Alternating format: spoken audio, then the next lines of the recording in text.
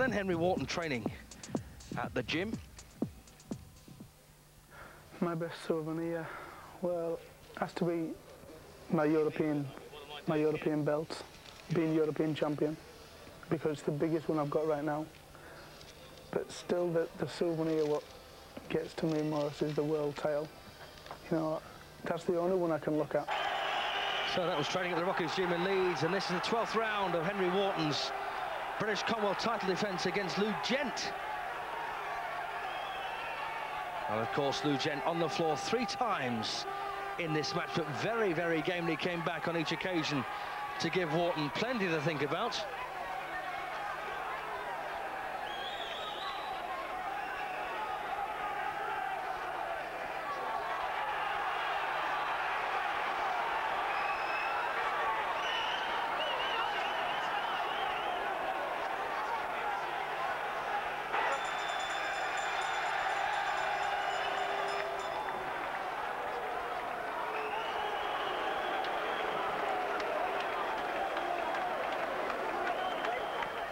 So there you are then, Henry Wharton retains his Commonwealth crown with the draw, and I thought the draw was absolutely perfect. Is drawn, which means Henry Wharton remains the super middleweight champion of the British Commonwealth. Yes, Mike Smith there, RMC, giving the result. And back to Rocky's Gym in Leeds.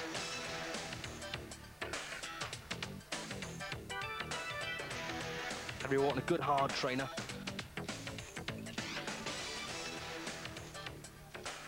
I've, um, it's become a, a way of life for me now. You know, and for years and years I've, I've trained and I've boxed. And right now I'm, I'm back to the, to the world number one. And there's only one more step to go. And of course, I enjoy it. Henry Wharton lives with his girlfriend and two children in York, of course. Very useful golfer. At the age of 13, the age of 14, that was when my first fight, I took place my first fight. And what specially do you love in boxing? The training, the competition, the the the one who is just in front of you. What is the speciality? Why do you? The competition, the, the winning, you know, and winning so hard at world level.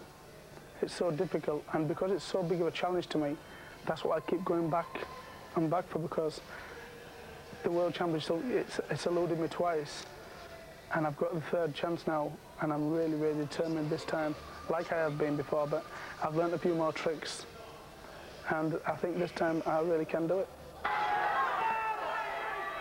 Action now against the tough guy. And this is Nicky Walker, the American who came over to try and test Henry's resolve. And this one also took place at the Barbican Leisure Centre in York. And it took place, by the way, on the 23rd of January 1992, directly after Lou Gent's win, or should I say draw with Lou Gent, to retain his title. This, of course, a non-title fight, but Nicky Walker, great reputation for being a tough guy. Cut bad down the right eye there.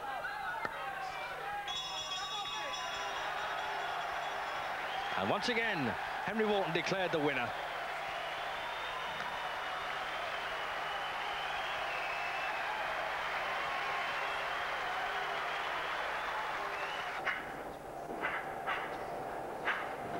People appreciating what I do, if people say to me, well done, or, you know, that's anyone, that means they appreciate that I do my sport well.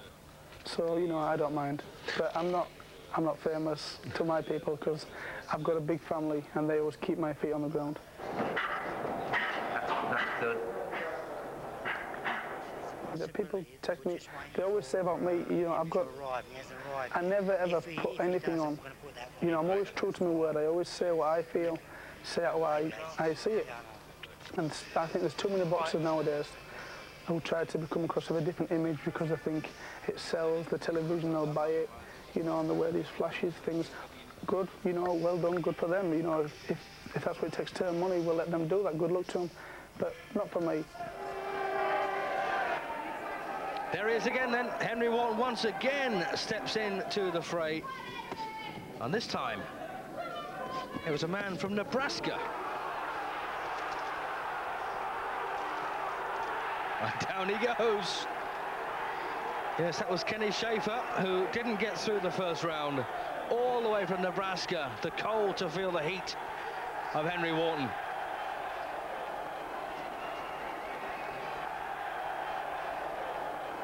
Wonderful finish there by Wharton, cracking left hook. And once again, the legs disappearing underneath the opponent. And then it was a rematch with Rod Carr. Now, Rod Carr was the man that Wharton beat to take the Commonwealth crown. A real tough guy. And this return also with the championship at stake took place in April of 1992. And Carr as strong as ever.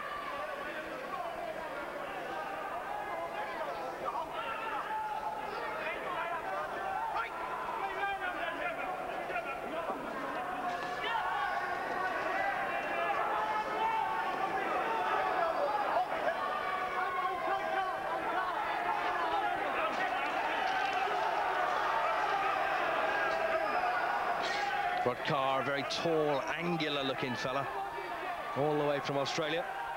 Still part of the British Commonwealth currently. Probably not for much longer, though.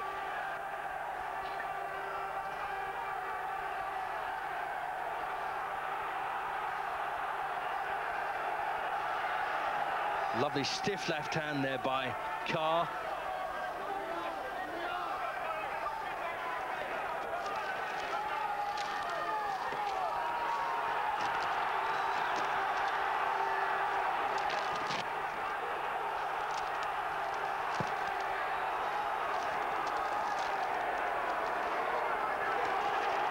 Lovely double left hook there by Wharton.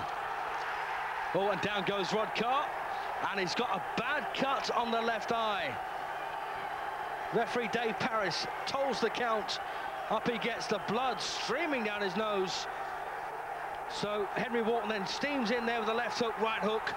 Carr wobbles on the ropes. And once again, Wharton powers home. Dave Parris has seen enough. So an excellent win confirming his superiority over Rod Carr.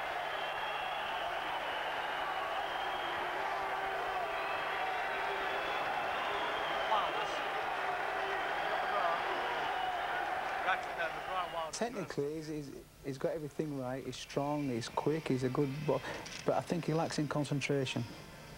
He, uh, he sometimes goes off the boil a little bit. Trainer Gary Aiken. Fight, he went three, four rounds doing nothing.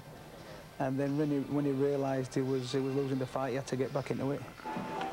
How many rounds we doing? Then we are very close, but when he's got his own space and um, and I have mine, I've got a wife and a little girl. She takes up all my spare time. But um, and I tend to know how he thinks, and I try to take a lot of pressure from him. He does a lot of charity work and things like that, and I I do the phone calls in, and he just turns up, you know, and does does what he has to do on the night. But I try to take a bit of pressure off him.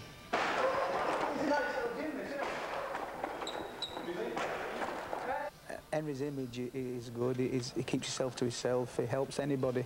If he sees a lad in the gym doing something wrong, he'll help him, you know. And yeah, he, he's a good image to follow, is Henry.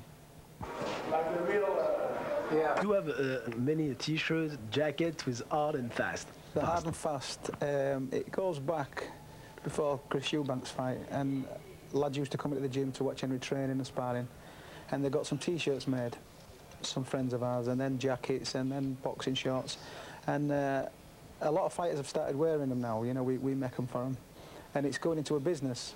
We're, you know, we, we've started now selling the, the jackets and the T-shirts and and jeans and everything, and hopefully, for when we all retire, it might do us a bit of good, you know. Sit with me, come on, come on. Oh, beautiful. And it comes to head. You step up. One more time, one more time. Nice and relaxed in there. So this is the one that brought a great deal of controversy. Ringside at Elland Road in Leeds. This is when Henry Wharton put his Commonwealth crown on the line against Slugger O'Toole, who was the British champion. So both titles at stake. I felt it's a fight that O'Toole could have won. In fact, his real name is Fidel Castro Smith, which seems just a wee bit more bizarre. As I say, it's a fight I thought that O'Toole could have won, had the skill to win, the ability to win, but Henry Wharton just seemed to want it that little bit more. And when Slugger O'Toole, as he was known in these days, stood back and did a bit of posing, bit of this, bit of that, Wharton worked.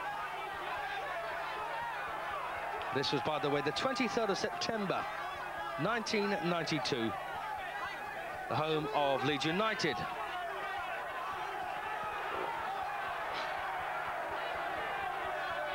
Of course, these are the days when Eric Cantona played for Leeds United, and uh, I was introduced to him on the night, and very stupidly said, what do you do, Eric? I didn't have a clue he was a footballer.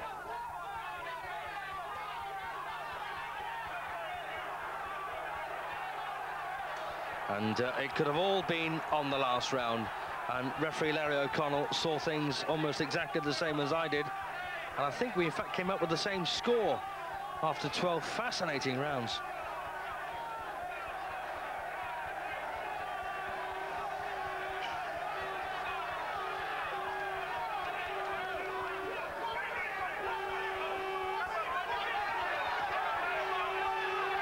So all fights in British rings, bar European title fights and upwards, are scored by the referee. That may change in the very near future.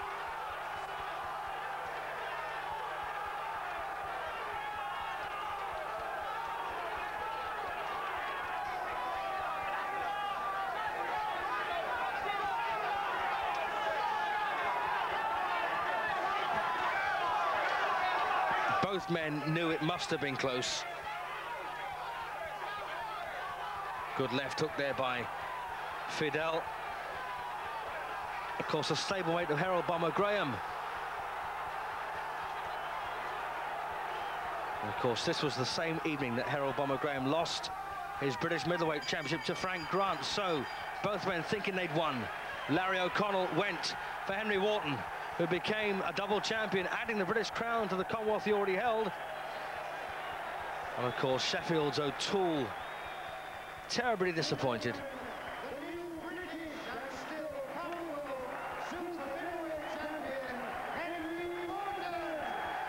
So Mike Shinfield then confirming the new champion. And these days, enjoying himself rather serenely on the golf course. Got a good handicap as well, down to 15. Why do you play golf? I like it. I think it's relaxing. It's a challenge. It's something I can't do, so I really want to do it.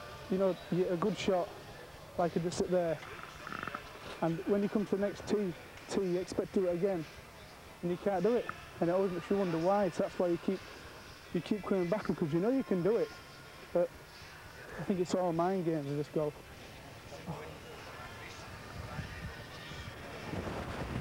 Yeah, check out there.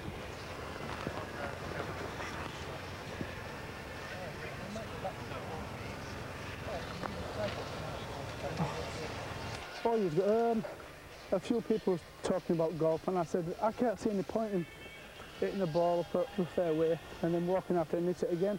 But there's so much enjoyment and pleasure to it. It relaxes me, gets me away from thinking about boxing all the time, which I know people think, well, you shouldn't stop thinking about, but you do because I'm surrounded with boxing 24 hours a day. And when I come on the golf course, you have to think that much. That it gives you something else to think about, you know, and it's it's a big part of my life is golf right now. Do you think do you think you have a special ability for this sport? Honestly, no, no, I don't. Honestly, yeah. I don't get the time to practice. That's one thing I regret. And if you know, one day, hopefully, uh, you know, I will I will retire from boxing, and I would like to really spend a lot of time and just to see how good I really can get. I think I can get in single figures, you know, play off about eight or nine, but I don't think I'll ever be, you know, a scratch player. I think I needed to practice from a younger age, and then maybe I'd. Uh, So more action then from Henry Wharton's checkered career. This one against uh, Ray Demonge. And it took place in Leeds at the Town Hall on the 7th of April of 1993. And Henry Wharton bashing into the body there to put him over here in round three. Once again, referee Mickey Vann decides that Demolish has had enough. Quite rightly too. And uh, don't forget, at this stage in Wharton's career, he was still unbeaten, just that one draw, the only blemish on an otherwise perfect record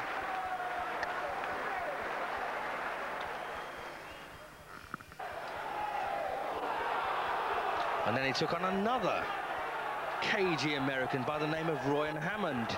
And Hammond, known as a journeyman on the circuit, he bounced around for a few rounds,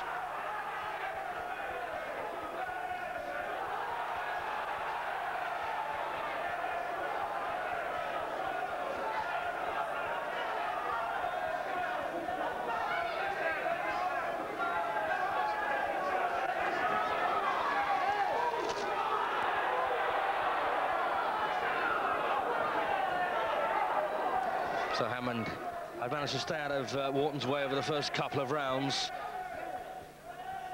Very lively performer.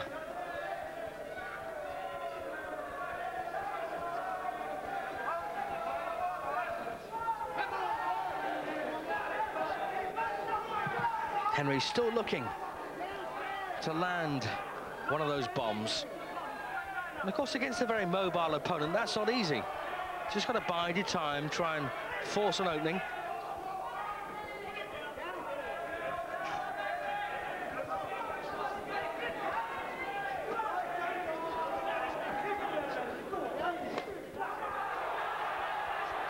So halfway through round three, and Ryan Hammond might have been having a reasonable spell, but suddenly tagged by a lovely left hook by Henry Wharton.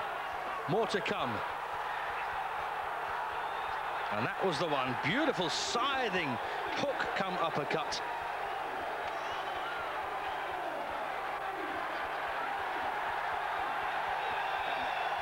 All over then, once again, Mickey Vann, the third man, putting his arms around a stricken Hammond.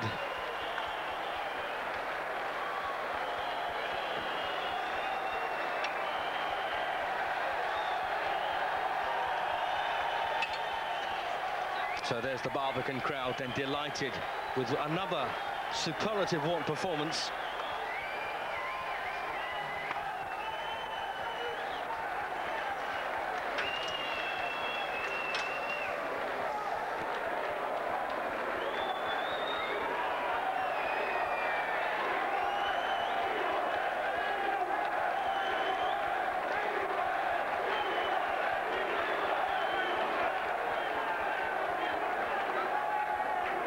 Bit of replay then from round three. Hammond going forward, landing the odd punch.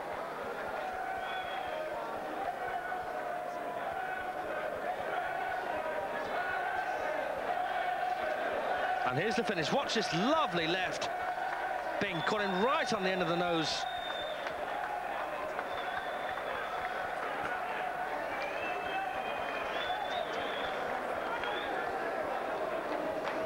Watch it again from the reverse angle, cracking right. That one really did set him up. Here we go. Bingo. Lovely shot. And poor old Ryan was out before he hit the floor. After two minutes of the third round, the referee stops the contest. The winner on a technical knockout and unbeaten, Henry Wharton.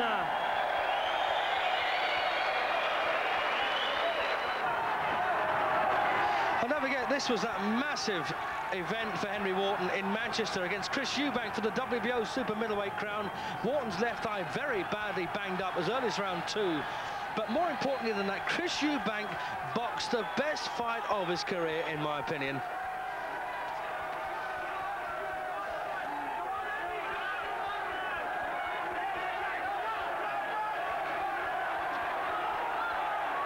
Henry Wharton always trying so hard to close the gap, which had really grown quite, quite large, in my opinion. It was a fight that Henry could not have won if this had gone the distance, which of course it did. Referee Steve Smoger from the United States. And Henry, of course, terribly incapacitated by that swollen left eye. Couldn't see the rights coming, which actually popped against the side of his face fairly regularly. And also none not evident, no real evidence, of course, of the flagging that uh, Chris Eubank normally experiences late in a fight. And of course, Eubank is now retired.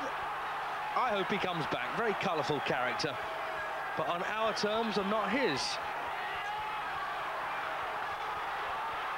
So a good finish then to this WBO Super Middleweight Championship and a superlative performance by Chris Eubank, the enigmatic Chris Eubank.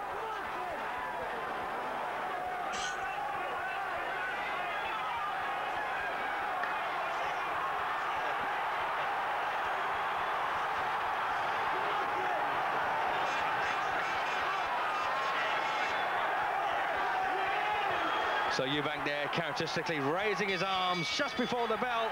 And no, no doubt about the winner. Of course, it went to the judges. Absolutely no doubt whatsoever that Chris Eubank was a commanding winner over a very, very game, but uh, hampered Henry Wharton.